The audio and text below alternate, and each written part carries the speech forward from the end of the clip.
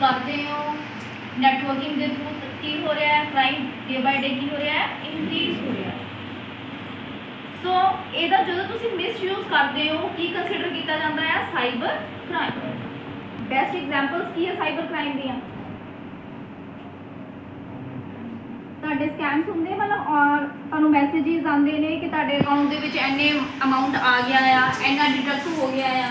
ਤਾਂ ਹੋ ਜਾਂਦੇ ਜਸਟ ਤੁਸੀਂ ਇੱਕ OTP ਸ਼ੇਅਰ ਕੀਤਾ, ਤੁਹਾਡਾ ਸਾਰਾ ਅਮਾਉਂਟ ਗਿਆ। ਇਹ ਚੀਜ਼ ਹੁੰਦੀ ਹੈ ਹੋਰ ਕੀ ਹੁੰਦਾ ਸਾਈਬਰ ਕ੍ਰਾਈਮ ਕਰਦੇ ਆ ਮਿਸਯੂਜ਼ ਕਰਦੇ ਆ ਮੌਕਿੰਗ ਕਰਦੇ ਆ ਉਹਦੇ ਨਾਲ ਵੀ ਕੀ ਹੁੰਦਾ ਆ ਸਾਈਬਰ ਕ੍ਰਾਈਮ ਕਿਸੇ ਨੂੰ ਬਿਨਾਂ ਪੁੱਛੇ ਦੱਸੇ ਤੁਸੀਂ ਉਹਦੀਆਂ ਫੋਟੋਜ਼ ਕਿਤੇ ਵੀ ਲੀਕ ਕਰ ਦਿੰਦੇ ਹੋ ਆਨਲਾਈਨ ਨੈਟ ਤੇ ਤਾਂ ਉਹ ਕੀ ਆ ਇੱਕ ਸਾਈਬਰ ਕ੍ਰਾਈਮ ਸੋ ਅਗਰ ਅੱਜ ਦੇ ਟਾਈਮ ਵਿੱਚ ਸਾਈਬਰ ਕ੍ਰਾਈਮ ਬਹੁਤ ਜ਼ਿਆਦਾ ਇਨਕਰੀਜ਼ ਹੋ ਰਿਹਾ ਹੈ ਕੀ ਕਰਦੇ ਹੋ ਆਪਣੇ ਅਕਾਊਂਟਸ ਨੂੰ ਸਿਕਿਉਰ ਰੱਖਣ ਦੇ ਲਈ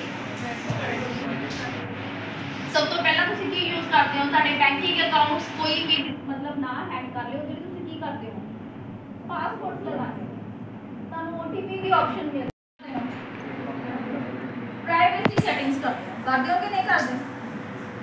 ਜਦੋਂ ਅਸੀਂ ਆਨਲਾਈਨ ਕੰਮ ਕਰ ਰਹੇ ਹਾਂ ਤੇ ਅਸੀਂ ਇਹਨਾਂ ਸੈਟਿੰਗਸ ਦਾ ਯੂਜ਼ ਕਰਦੇ ਹਾਂ। ਕਰਨਾ ਚਾਹੀਦਾ ਵੀ ਹੈ।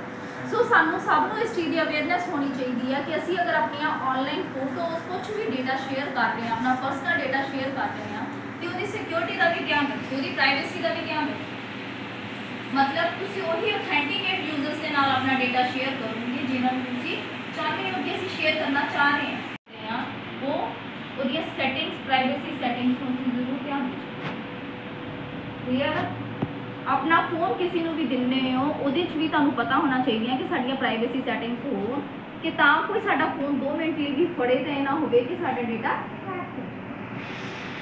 ठीक है? समझ में आ रहे हैं बेटा?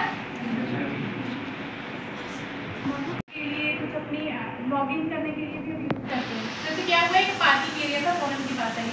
पार्किंग एरिया में किसी ने अपना फेक जनरेट करके ना वो क्यू आर कोड को लगा दिया। और जो भी बंदा पार्किंग के लिए जा रहा था वो उसी को स्कैन करके अंदर अपनी पार्किंग में गाड़ी लगा रहा था। तो जब तक वो फ्रॉड डिटेक्ट हुआ ना उस बंदे के पास इतना मिलियंस ऑफ़ जो अमाउंट को उसके पास इकट्ठा हुआ ना, बाद में गया तो जेल है। ना? तभी उसके बाद कोर्ट में या न्यूज़ में ये चीज़ें आई है।